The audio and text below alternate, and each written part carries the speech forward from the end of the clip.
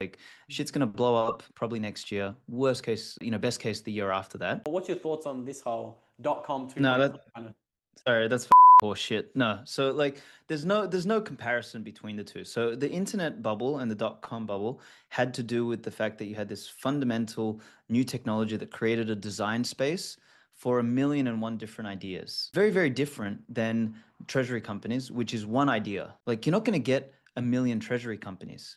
You will have a million companies put Bitcoin on their balance sheet, but in terms of the treasury company play, like there'll be one or two or three in each market. You know, maybe in like bigger markets like America, there might be 10. But what's that? That's like 50 companies in the world, 100 companies in the world. The dot com bubble unleashed thousands of companies, millions of products and services. They're, they're, they're, completely unrelated. There's no multi year bubble cycle. That's all copium. Like mm. shit's going to blow up probably next year. Worst case, you know, best case the year after that.